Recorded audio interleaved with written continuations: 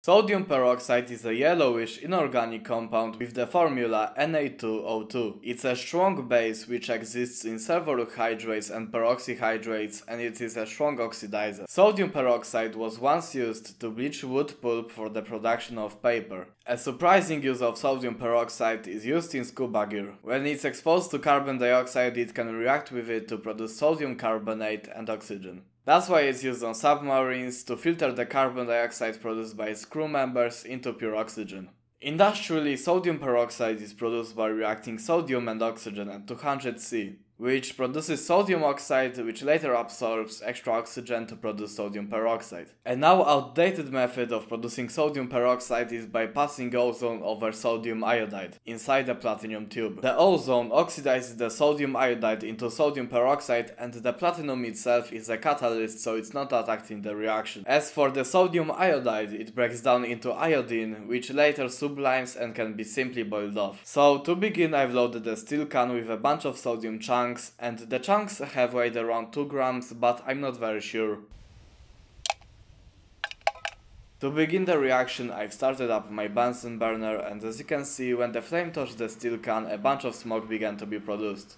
I believe that is some leftover oil that is evaporating from the sodium. The oil was used to store the sodium because sodium is attacked by air and can tarnish over time. Even though the mineral oil is not perfect, it usually protects the sodium for very long periods of time. Here I try to lift up the can with a pair of thongs so that the sodium can heat up.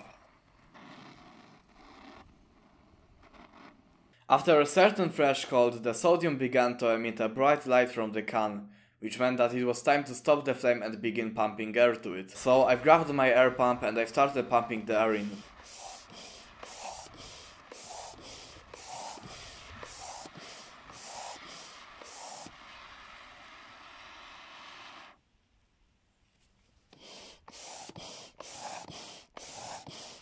After a while the reaction had died down and in the can there should be sodium hydroxide, sodium oxide and of course sodium peroxide. That's what the inside of the can looks like. To test if it's sodium peroxide I've thrown it into some water. As you can see the bubbles that are coming from the chunk is most likely from the formation of hydrogen peroxide. To show its oxidizing capabilities I've decided to throw some magnesium powder onto it.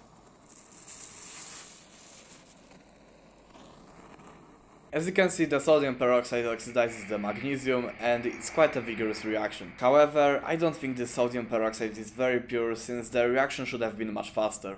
Alright guys, that's all. Here's what I'm currently working on. If you want to see some of these projects, why not subscribe?